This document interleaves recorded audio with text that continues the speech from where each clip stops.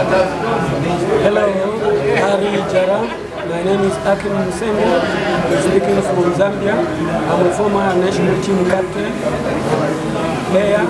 I also worked as a coach for the national team, trained the goalkeepers like you. I've read with deep shock that you are not feeling well. Hope you continue the wonderful job you are doing to assist goalkeepers. May God bless you and continue your good work. Thank you.